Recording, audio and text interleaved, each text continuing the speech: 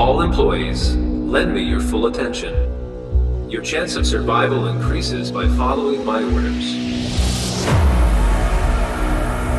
Your task is simply this. Kill three of your coworkers, or we will kill six others. Begin.